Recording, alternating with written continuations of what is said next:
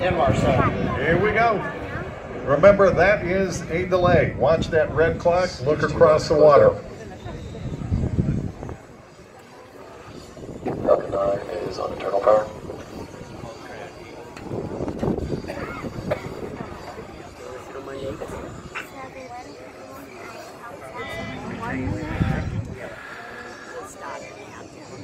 Right across the water.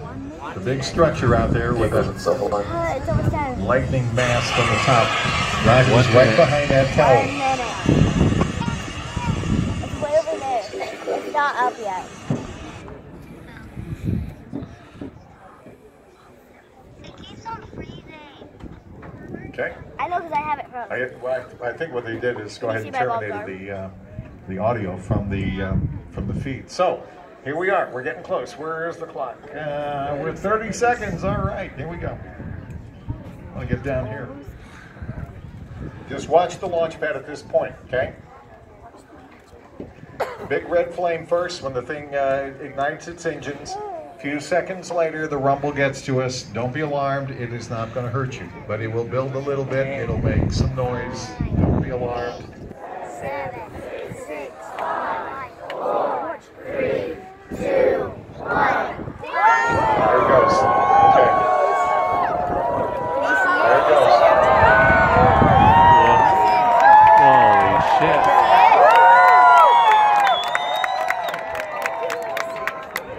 Falcon 9 rocket on its way. Inmarsat 5 satellite. Falcon 9. Here comes the rumble. 1.7 million pounds of thrust. And the Wow, wind that's is blowing badass. our way.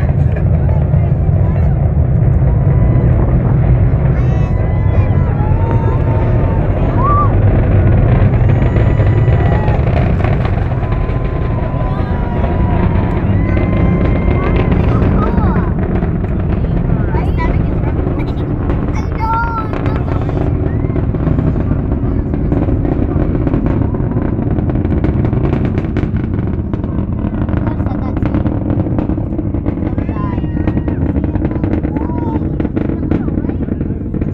Breaking the sound barrier here. Uh, within about 30 seconds. breaking the sound barrier. We won't hear the boom, but it's, it's Oh, as it climbs out, it, it, it'll break the sound barrier. And then it's going through what we call the uh, max Q. That's that's normal. That's normal. That's going it's going through uh, it's going through the atmosphere. All right. So it's gone through max Q, the maximum dynamic pressure exerted on the vehicle from the outside pressures. And it's climbing out. A little over two minutes, uh, the uh, main is going to come off. And right about three minutes or so after the launch, the uh, upper stage will kick in. So we might be able to see some of that. It, uh, you got a pretty good view. What is that like? It's I said falling. On its way east, heading over Europe. I said like they only could go in that way.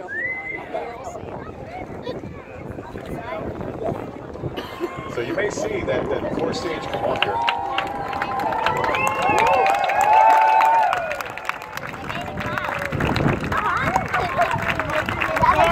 20 miles up. And the first stage will jettison uh, about 30, 40 seconds. 40 miles up already. They're getting ready the second stage to turn on here. Uh, It's going to be hard to see, but we might see something up here.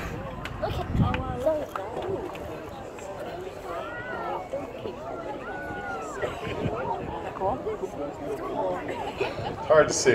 It's pretty hard to see. Another minute or so, why not even a minute? Separation of the upper stage and the core stage.